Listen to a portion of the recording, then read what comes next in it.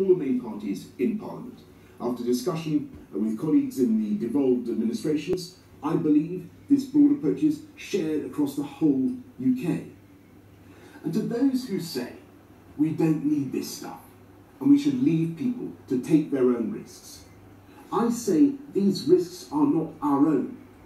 The tragic.